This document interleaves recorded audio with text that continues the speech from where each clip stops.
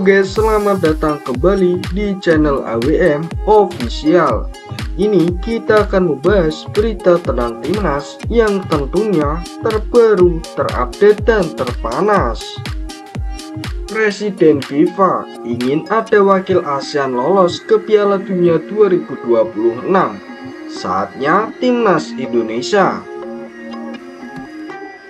Presiden FIFA Gianni Infantino berharap setidaknya ada satu wakil dari ASEAN yang berhasil lolos ke Piala Dunia 2026. Hal ini disampaikan langsung oleh Gianni Infantino saat menyaksikan laga final leg kedua Piala AFF 2022 pada Senin 16 Januari 2023.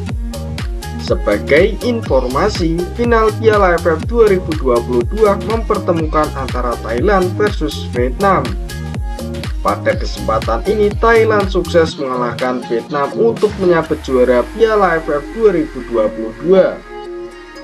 Tim asuhan Manopol King itu memenangkan duel melawan Vietnam dengan agregat 3-2.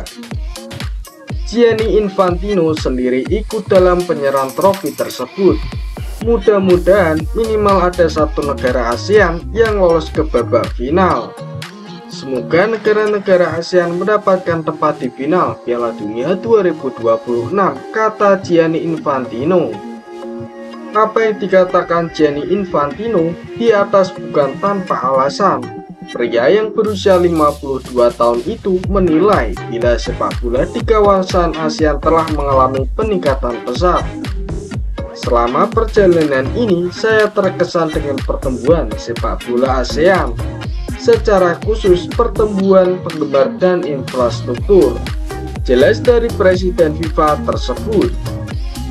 Sementara itu, mungkinkah slot Piala Dunia 2026 bisa diamankan oleh timnas Indonesia? Tentu saja hal tersebut bakal sangat sulit tercapai Pasalnya skuad Garuda sendiri masih kesulitan untuk menjadi yang terbaik di ASEAN. Di Piala AFF 2022, timnas Indonesia hanya mampu melaju sampai babak semifinal.